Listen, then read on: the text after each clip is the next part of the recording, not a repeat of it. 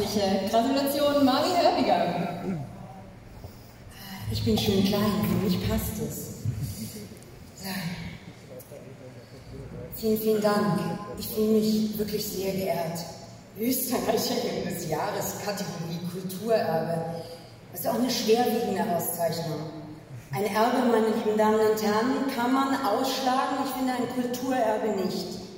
Es ist kein Geheimnis, dass ich seit Jahren Mitglied des Wiener Burgtheaters bin.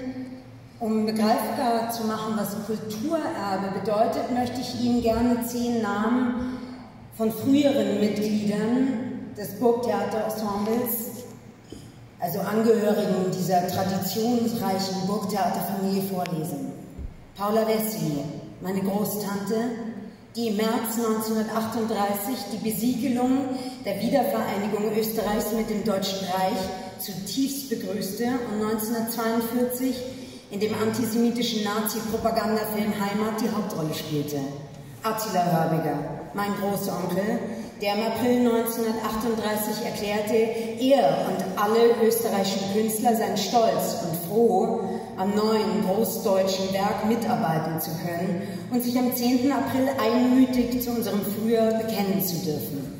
Paul Hörbiger, mein Großvater, der im März 1938 ebenfalls dazu aufrief, bei der Volksabstimmung für den Anschluss zu stimmen und sich im letzten Kriegsjahr einer Widerstandsgruppe anschloss wofür er von den Nazis zum Tode verurteilt wurde. Werner Kraus, der in seinem Nazi-Propagandafilm Jud Süß gleich sechs verschiedene Juden als Zerrbild und Fratze des Bösen verkörperte, sich von Goebbels zum stellvertretenden Präsidenten der Reichskammer machen ließ und 1952 mit dem großen Ehrenzeichen für Verdienste um die Republik Österreich geehrt wurde und 1954 den Ifflandring erhielt. Otto Hartmann, der als Nazispitzel mindestens drei Widerstandsgruppen von Künstlern und Intellektuellen auffliegen ließ, von denen infolge seines Verrats 13 hingerichtet wurden, der nach dem Krieg wegen seiner Nazi-Verbrechen zu lebenslanger Haft verurteilt und 1957 von Bundespräsident Scherf begnadigt wurde. Fritzi Strassny, der seit 1919 Burgtheaterensemble gehörte und 1942 im KZ Theresienstadt ermordet wurde, Lilly Caroli, die nach Auschwitz deportiert werden sollte, in letzter Sekunde nach Jugoslawien fliehen konnte und bei ihrer Rückkehr 1946 im Burgtheater mit den Worten begrüßt wurde, Jesus, was machst denn du da? Else Wohlgemuth, die 1938 emigrieren musste und 1946 bei ihrer ersten Vorstellung nach der Rückkehr frenetisch gefeiert wurde.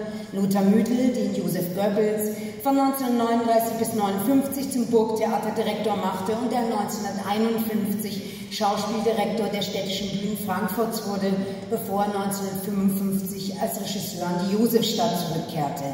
Rosa Albachetti und Wolfgang Albachetti muss ich Ihnen nicht vorstellen. All das ist mein Erbe, Ihr Erbe, unser Erbe. Wir können und dürfen uns dem nicht entziehen. Dieses Erbe bedeutet Verantwortung und Verpflichtung. Und diese Verpflichtung bedeutet, es reicht nicht, wenn wir sagen, wir dürfen nie vergessen. Wir müssen handeln, wir müssen tätig sein, wir müssen kämpfen. Jeden Tag, in jedem Monat, gerade heute, gerade jetzt. Wir müssen uns aktiv und entschlossen, klar und wissend gegen die wenden, die Kultur und Erbe umzudeuten versuchen, gegen Rechtspopulisten, gegen Verschwörungstheoretiker, gegen Corona-Leugner, gegen Rassisten, gegen Chauvinisten, gegen Demagogen und Simplifizierer.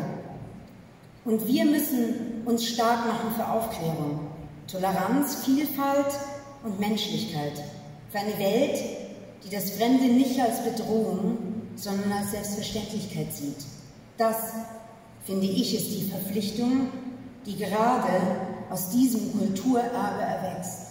Nehmen wir sie an, Sie, ich, wir alle, damit wir irgendwann mal acht Millionen ÖsterreicherInnen des Jahres in der Kategorie Kulturerbe werden. Vielen Dank.